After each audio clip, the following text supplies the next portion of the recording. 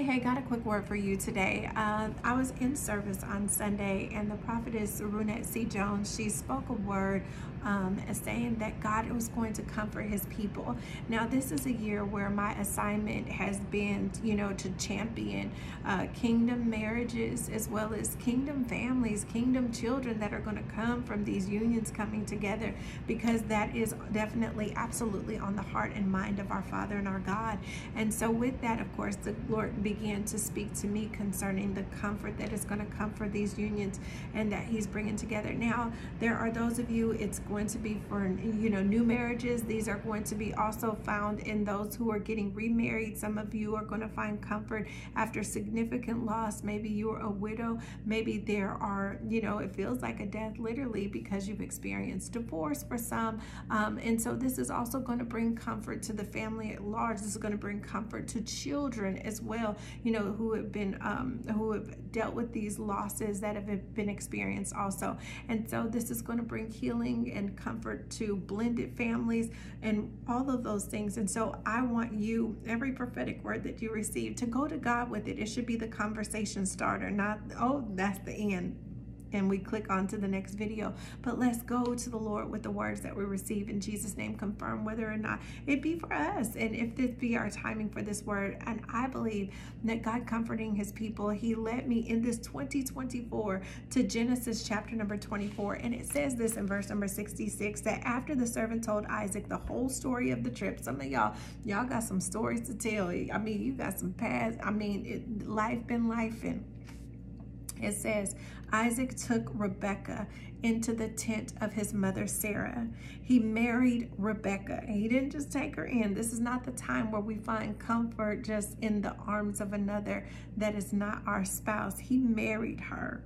This is not situationships and nothing like that, but this is God ordained marriage that I'm speaking of. And it says, and she became his wife and he loved her. God is bringing those together where they are going to love one another. This will not be loveless unions. This is not going to be, you know, God is doing in the pre-arranging business, like he's the best matchmaker there is um, at the same time, it's not going to be based off of an arrangement. It's going to be based off of covenant and not just contract. Come on, somebody.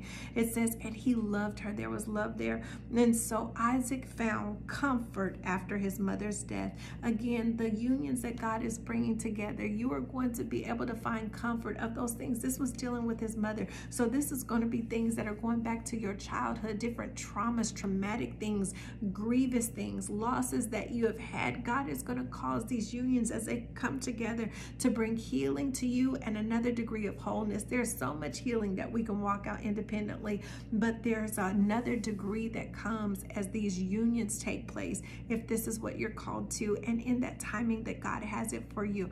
In the name of Jesus. And some of you, it's going to bring comfort even to things that your parents suffered and or endured in the name of the Lord. And so be it unto you in Jesus' name. The other thing that I found that was extremely extremely significant about this. It says, So Isaac found comfort after his mother's death from his wife after taking his wife in unto himself and so it made me consider that a wife is considered to be the helpmeet which is likened unto the holy spirit which is our helper right one of the other characteristics of the Holy Spirit, one of his name, he's called the comforter. Jesus said, I have to go, so the, the comforter will come.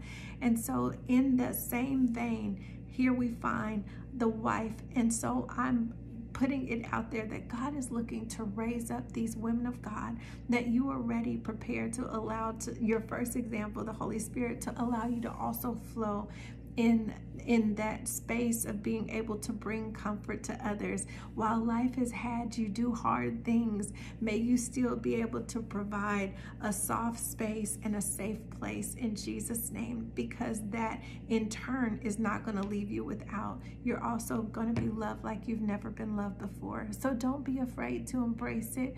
Don't be afraid to take them in as your wife.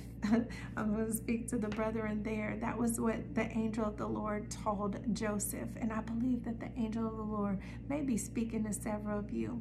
Don't be afraid to take them in. Be ready to receive all that God is going to bring through these unions. God is bringing comfort through God ordained marriages. Be it unto you in Jesus' name.